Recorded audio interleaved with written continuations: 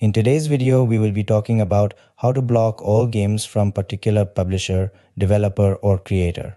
For example, EA Sports, Ubisoft, and others on the Steam store. But before we move forward, if you find this video useful in any way, please consider subscribing to the channel as this encourages us to create more similar videos.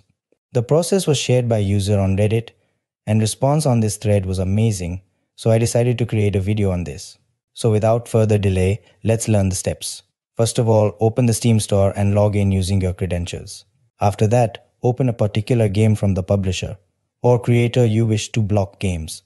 Let's say I want to block games from EA Sports. So I searched and opened EA Sports FC. On the game page, click on the publisher name link.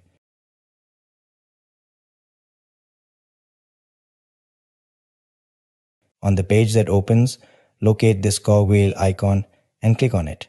Now, you will get two options. If you hover the cursor over ignore this creator, a quick description will open up that read, selecting this option will stop recommending any game from this publisher.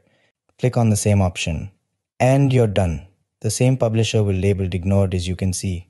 At any point, if you want to undo this change, then click on the ignore button to get recommendations. So that's all about this video. If you find this video useful, don't forget to like this video and subscribe to the channel to get notifications about more similar videos. Thanks for watching.